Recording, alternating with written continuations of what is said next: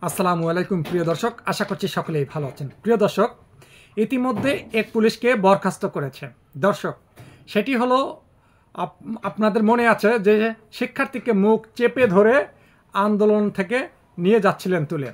দর্শক, বলছিলাম পুলিশ পরিদর্শক আরশাদের কথা। আর যাকে তুলে নিয়ে গিয়েছিল তার নাম হচ্ছে নাহিদুল ইসলাম। দর্শক, যখন বৈষম্য বিরোধী ছাত্র আন্দোলন হচ্ছিল, একযোগে বাংলাদেশের প্রায় ম্যাক্সিমাম লোকই কিন্তু এই আন্দোলনে যোগদান দিয়েছিলেন বা যোগদান করেছিলেন। এমতো অবস্থায় সেই পুলিশ তার মুখ চেপে ধরে নিয়ে যাচ্ছিলেন থানায়। কারণ তাকে আন্দোলন করতে দেবে না, তার বাক স্বাধীনতাকে হরণ করতে চাচ্ছিল সেই সময় পুলিশ। সে জোরে করে বলতে চাচ্ছিল সেই মিছিল করতে চাচ্ছিল, কিন্তু তাকে জোর করে নিয়ে যাচ্ছিল। তাকে বরখাস্ত করা হয়েছে। পুলিশ পরিদর্শক আরশাদ সাময়িক বরখাস্ত করেছে তাকে তাকে কিছুদিনের জন্য হয়তোবা।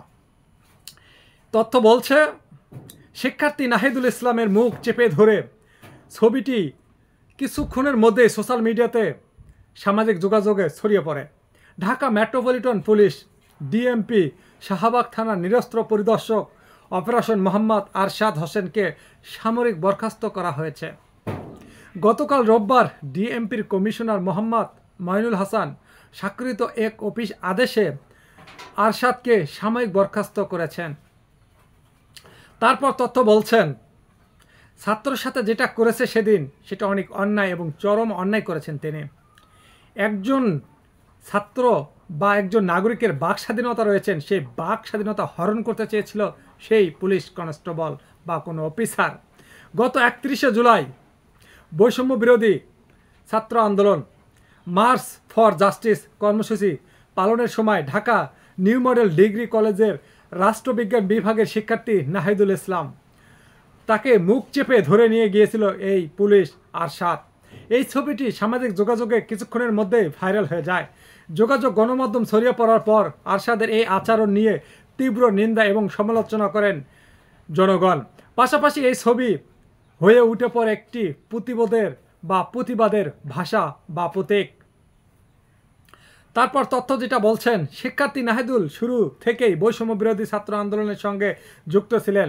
সেদিনের ঘটনা সম্পর্কে নাহিদুল বলেন, শতাধিক মানুষের রালি নিয়ে এগাচ্ছিলেন তারা। হাইকোর্টের ঈদগাহ গেটের সামনে এলে পুলিশ তাদের পথ রোধ করেন। কয়েকজনকে আটকে ধরে পুলিশ। শিক্ষার্থীদের ধীরে ধীরে মৎস্য ভবনের কাছে নিয়ে আসে পুলিশ।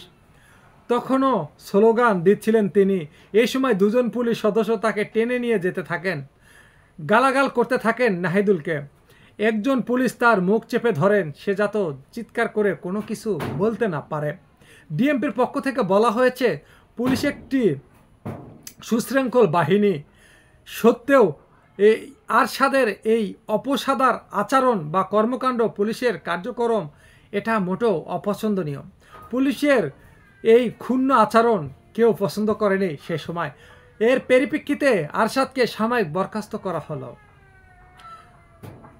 তারপরে যেটা বলছে গণমাধ্যম অনেক বড় বিস্তারিত দর্শক, সেটা আর তুলে না ধরে জনগণের বাক স্বাধীনতা কেড়ে নিতে চাচ্ছিলেন পুলিশ, স্বৈরাচারী সরকার, আওয়ামী লীগের কিছু নেতাকর্মী এবং কিছু, আওয়ামী লীগের পক্ষে কিছু থাকা জনগণ। তা দর্শক, অবশেষে কারও মুখ বন্ধ করে রাখতে পারেনি সেই স্বৈরাচারী সরকারের নেতাকর্মীরা।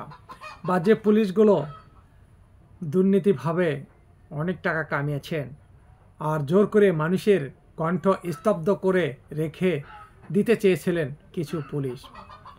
আজ তাদের শুধু পথ থেকে বহিষ্কার করলে চলবে না বা হচ্ছে আপনার বরখাস্ত করলেও চলবে না।